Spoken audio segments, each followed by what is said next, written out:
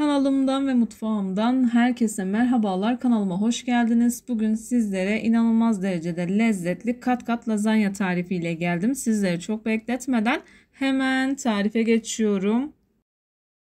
Tarifime ilk olarak kıymalı iç harcını hazırlamakla başlıyorum. Bunun için yaklaşık 3 yemek kaşığı kadar sıvı yağını ekledikten sonra 2 adet soğanı minik minik doğradıktan sonra kavuruyorum.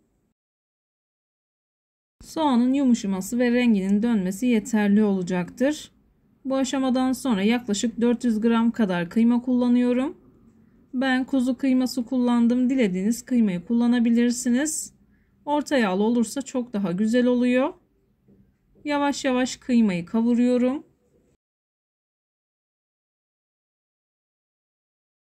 Kıymanın rengi dönünceye kadar kavurduktan sonra bir tatlı kaşığı kadar domates salçası, Yarım tatlı kaşığı kadar da biber salçası ekledikten sonra kavuruyorum.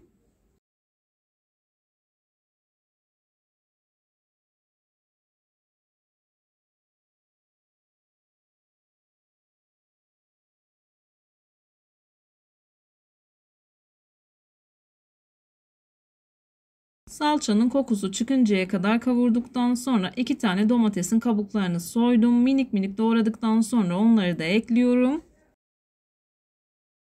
Kullandığım domatesler büyük boydu. Eğer orta boy domates kullanacaksanız 3 adet kullanmanız yeterli olacaktır. Bu aşamada göz kararı olacak şekilde biraz tuz ekledim. Tuzun üzerine domatesleri ekliyorum.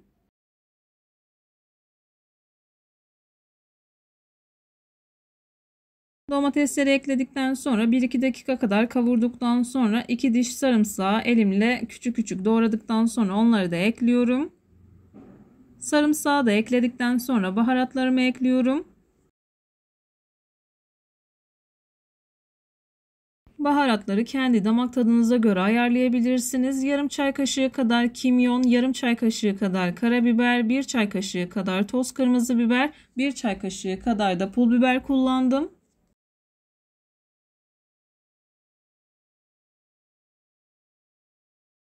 Baharatlarını ekledikten sonra şöyle bir karıştırdıktan sonra 1,5 bardak kadar sıcak su ekliyorum. Kapağını kapatıyorum. Suyunu biraz çekinceye kadar pişiriyorum. Suyunu çok fazla kurutmayın. Yarım bardak kadar su kalması yeterli olacaktır. Göz kararı olarak ayarlayabilirsiniz. Videomu tam da buraya kadar izlediyseniz her zaman olduğu gibi sizlerden ricam yoruma kalp olur, emoji olur veya tarifim hakkında farklı bir fikriniz varsa bunu da benimle paylaşabilirsiniz. Ayrıca videolarımı sevdiğiniz kişilerle de paylaşarak bana bu şekilde destek olabilirsiniz.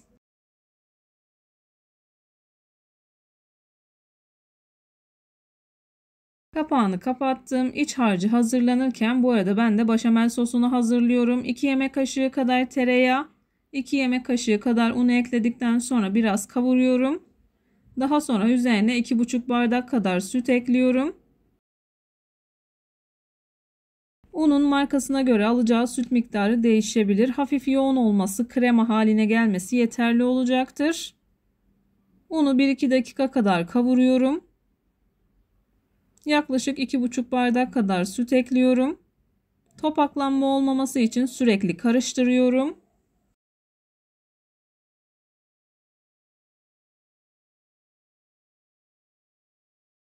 Bu aşamada tel çırpıcısı kullanırsanız çok daha rahat olacaktır. Yavaş yavaş yoğunlaşmaya başladı. Karıştırmayı hiç bırakmıyorum.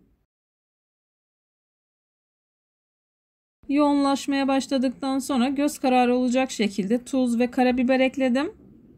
1 çay kaşığı tuz, yarım çay kaşığı kadar da karabiber kullanabilirsiniz. Başamel sosu hazırladım. Hızlı bir şekilde lazanyamı hazırlıyorum. Bir kepçe kadar borcamın dibine hazırladığım iç harcından koyuyorum. Daha sonra başamel sostan göz kararı olacak şekilde videoda görüldüğü gibi kaşık yardımı ile döküyorum.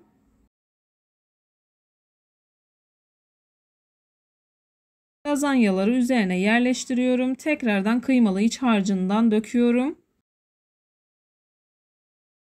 Kaşık yardımı ile güzelce yaydıktan sonra başamel sostan yine kaşık yardımı ile döküyorum. Lazanyanın son katına kadar bu şekilde hazırlıyorum.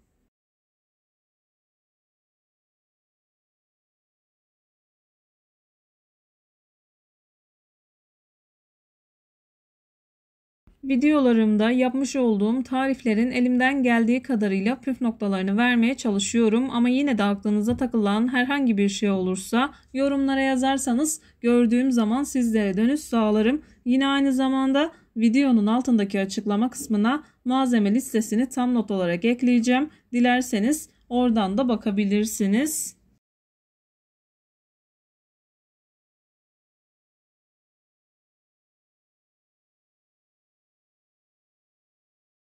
Lazanyanın son katını çıkıyorum. Kalan bütün iç harcını bu şekilde döküyorum. Daha sonra kalan başamel sosu da üzerine döküyorum. Ben üzerine kaşar kullanacağım. Dilerseniz kullanmaya da bilirsiniz.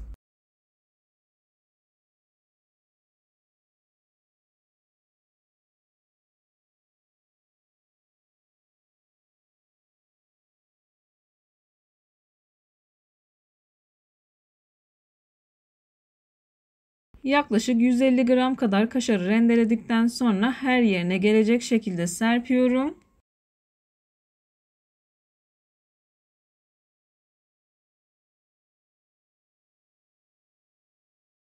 Lazanyayı hazırladım. Önceden ısıtılmış 200 derecelik fırında üzeri kızarıncaya kadar pişirdim.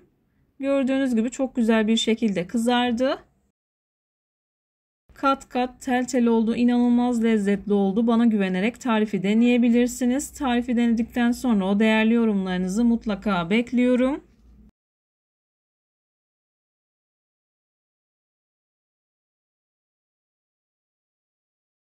İlk sıcaklığı çıktıktan sonra dilimleyip servis ediyorum.